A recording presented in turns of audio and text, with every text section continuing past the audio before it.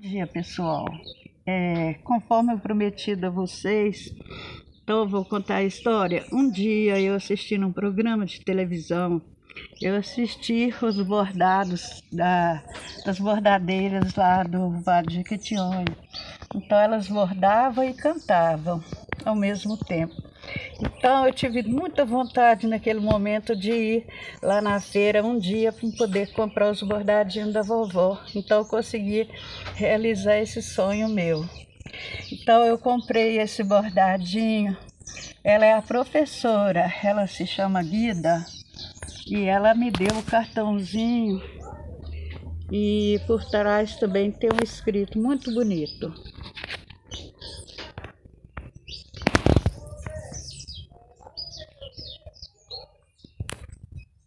Então, pessoal, esse bordadinho aqui, ela me disse que a pessoa tem 78 anos, olha para vocês verem que bordado mais lindo e caprichado. Agora, em seguida, mais um outro bordadinho, mais outro bordado. Continuando, pessoal, então esse também é mais um bordadinho lá das alunas da Guida. Tem 70 e não sei se é 71, me desculpe, eu não consegui gravar não, mas é 70 anos. Então, pessoal, mais um bordadinho da vovó. É, não consegui gravar o, a idade dessa pessoa, mas é 70 e poucos anos também, que é aluna da Guida.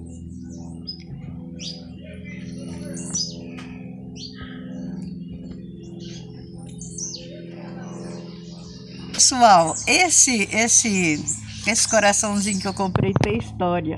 Eles estavam pendurados, é, é, não sei como é que chama, é que estava pendurado. Então caiu uma ventana e caiu tudo, pessoal. Então esses dois caíram um perto do outro. Aí eu me apaixonei com o bordadinho, uma simplicidade, mas muito linda. E vi a menina que, que bordou esse, esse coraçãozinho, que é um, chave, um chaveirinho mas não vai ser usado como chaveirinho. Eu vou fazer outro trabalho com ele, outra hora eu mostro. Então, pessoal, essa aqui é uma almofada que eu comprei. É aqueles bordados tipo raiolo, né? Muito lindo, olha para vocês verem que maravilha.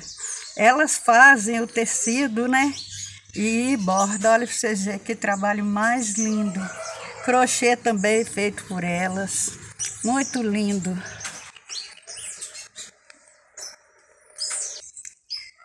Pessoal, então abrindo a almofada do outro lado, olha para vocês verem que capricho, todo bonitinho, com crochêzinho. Maravilha pura, né, pessoal? Então, pessoal, comprei essa linda bolsinha. Minha netinha Lulu faz aniversário por esses dias, então lembrei dela e comprei para ela a dona me falou que a bonequinha sai, pode tirar a bonequinha e usar só a bolsinha.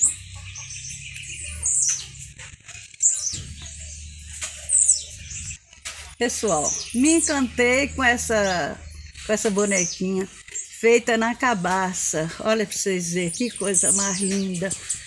Mas é muito maravilhosa. É biscuit e na cabaça. E a pintura, me encantei. Quanta arte nessa cabaça. Olha para vocês verem que coisa mais linda. Olha o olho que vocês são, a boca tão pequenininha, tão lindinha.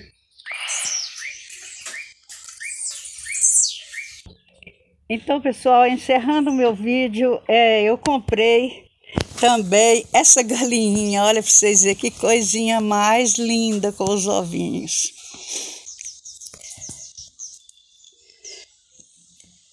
É, essa aqui é uma pintura muito linda também, pessoal, muito trabalhada também.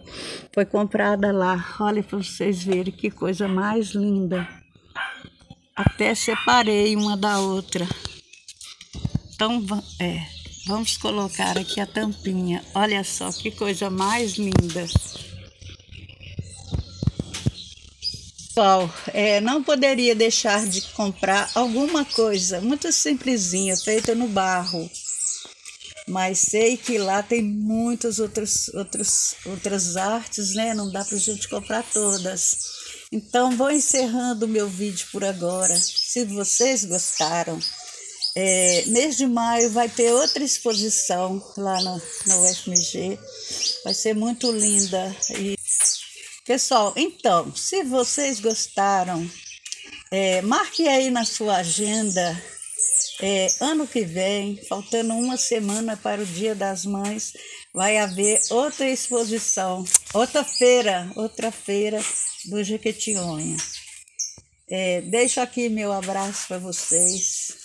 Peço que deixe o like, compartilhe, pessoal. É muito linda essa feira. Vale a pena a gente ir lá conhecer a feira e também a gente sair um pouco, passear um pouco.